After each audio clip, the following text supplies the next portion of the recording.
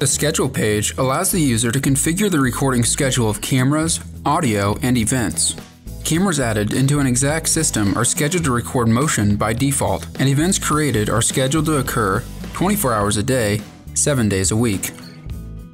The schedule can be modified in one of two ways by day or by source.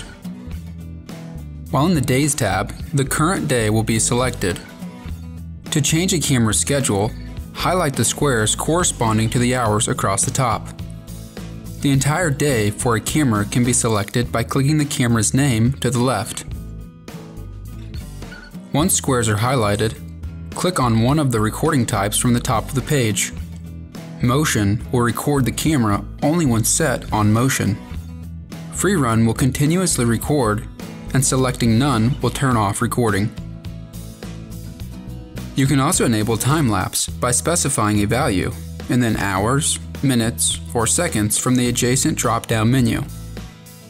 Hitting the apply button will make changes to the currently selected day. The same schedule can be copied to other days of the week using the set function. Select the days to copy to, click the set button, and then click apply. Similarly, audio and events can also be scheduled through the Days tab. Audio is listed beneath the camera and can be either scheduled off or with free run. Events are scheduled to occur continuously unless specified as none. Alternatively, the schedule can be modified using the Sources tab at the top.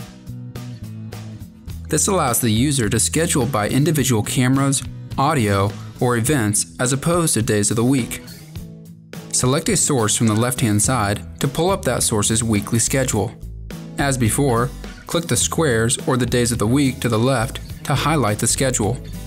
Clicking the record setting and clicking apply will apply that change to the source's weekly schedule. The Apply To button can also be used to apply the same schedule to multiple sources, similar to the Set function on the Days tab.